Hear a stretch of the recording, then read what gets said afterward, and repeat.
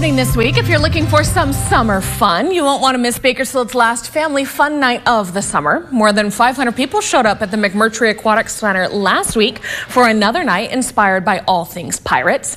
This week, the Bakersfield Recreation and Parks Department will be hosting their Olympic themed event at the Aquatic Center. It's happening Friday from 6 to 9 p.m. They say they'll have several fun activities along with the swimming, including some interactive games. The cost to get in, just five bucks per person.